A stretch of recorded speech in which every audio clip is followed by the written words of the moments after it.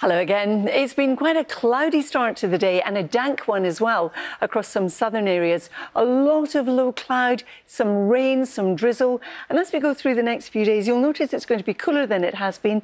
Yes, there'll be some rain at times, but equally there'll be some sunshine. But it's looking dry with sunny spells for most as we head on into this weekend. So what we have at the moment is still quite a bit of cloud around, still some patchy rain, breaking up in places, and as temperatures rise, that could spark off a few showers. But for southwest England, Wales, northern England, and Scotland, a lot of dry weather with a fair bit of sunshine. Out towards the west, though, the clouds are going to continue to build and the wind will strengthen. Temperatures 15 to 24 degrees, possibly a little bit higher in the south if the cloud does remain broken for longer. Into this evening, there'll still be some residual cloud left, some clear skies, but we've got persistent rain coming in across Scotland and also Northern Ireland, and that will get into northwest England by the end of the night.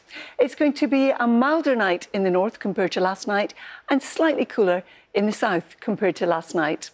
So we start tomorrow with our weather front bringing the persistent rain through Scotland, Northern Ireland, Northern England, and eventually into Wales. You can see from the isobars, it's also going to be quite a blustery day, and the rain will continue to advance very slowly southwards, the cloud building ahead of it, hanging on to the sunshine for the longest in the far southeastern corner. But behind the rain, we see a return to blustery showers, but equally there'll be some bright and sunny spells across parts of Scotland and Northern Ireland too.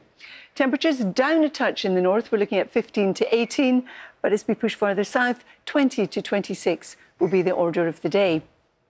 Eventually, that rain does make it into southern England. It could take its time to clear the channel and also the far southeast, but to the north of that, there'll be a lot of dry weather again, A fair bit of sunshine around.